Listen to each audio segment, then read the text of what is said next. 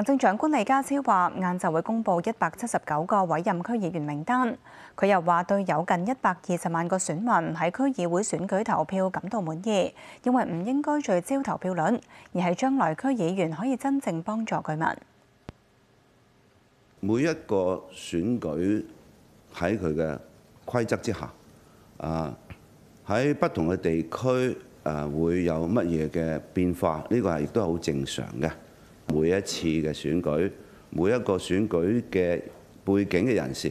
以及當時我哋喺選舉嘅時候有冇一啲好激烈嘅議題，都係會影響到整個啊結構同埋變化。但係我對於有差不多一百二十萬位啊選民出嚟投票呢，我係滿意嘅。我亦都感謝佢哋啊履行佢哋嘅公民責任，亦都表示佢熱愛香港，熱愛佢哋嘅地區而出嚟投票，我覺得呢個係最重要。更重要嘅就係我哋選出嚟嘅區議員會務實，同埋真真正正去接去接觸啊當地嘅居民，為咗當地嘅居民嘅民生啊地區嘅不同問題咧，去幫佢哋解決。